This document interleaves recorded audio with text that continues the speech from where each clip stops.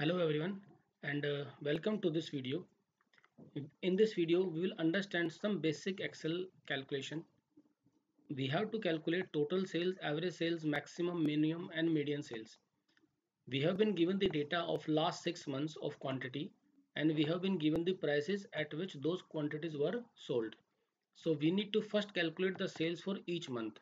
So equal to now instead of using mouse and click on this quantity what you can do equal to take use left arrow key and move to quantity multiply with the price. Now this is one way. Uh, alternatively what you could do equal to quantity click multiply price click.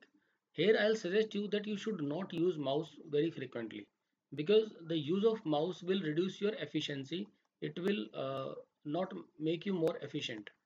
So instead of using mouse use the arrow keys to navigate between sheets or within the sheet equal to go to uh, quantity with the left arrow key multiply use the left arrow key and move to price here what am I saying here I am saying that take the value from C7 and multiply with the value in D7 enter करेंगे तो हमारे को value मिल जाएगी now I need this formula in the remaining cells also तो उसके लिए क्या करेंगे simply select this particular range and press control D control D is to copy down ठीक है?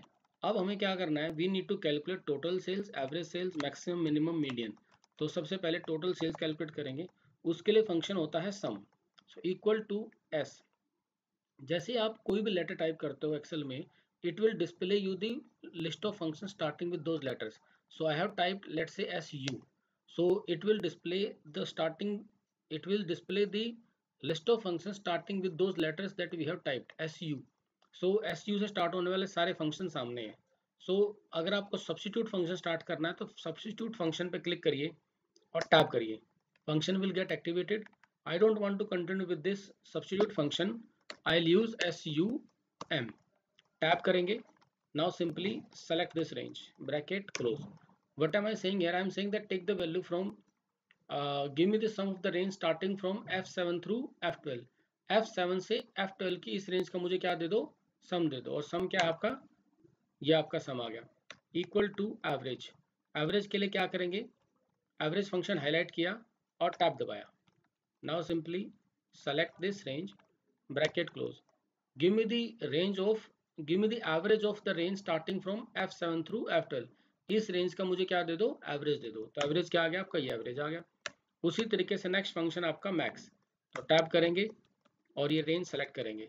इस रेंज का मुझे क्या दे दो? मैक्सिमम नंबर तो मैक्सिमम नंबर क्या है? सिक्स सेवन सिक्स फोर तो ये आपका आंसर आ गया। देन वी हैव मिनिमम तो टैप करेंगे और इसे सेलेक्ट करेंगे। इस रेंज का मुझे क्या दे दो? मिनिमम नंबर दे दो। मिनिमम नंबर क्या है? One zero eight zero next is median तो टैप करते हैं और इस रेंज को सेलेक्ट करते हैं ब्रैकेट क्लोज तो इस रेंज का मुझे क्या दे दो? मीडियन नंबर अब मीडियन क्या होता है? Median is the middle value अगर आप इस डाटा को सोर्ट करो तो सोर्ट करने के बाद जो मिडल वैल्यू होगी, वो आपका मीडियन होता है। लेकिन इस पर्टिकुलर केस में आपकी मिडल वैल्यू दो होंगी। तो दोनों का जो एवरेज होगा, वो आपका मीडियन होगा। ठीक है? मेरा सजेशन आपको ये है कि जो जो वीडियो में जो जो एक्सरसाइज मैं आपको कराता हूँ, उन वीडियोस को साथ साथ प्रैक्टिस भी करिए। ठीक है? तो with this video this is sufficient I will see in the next video अभी पहले आप इस वीडियो को, इस एक्सरसाइज को प्रैक्टिस करिए. Thank you very much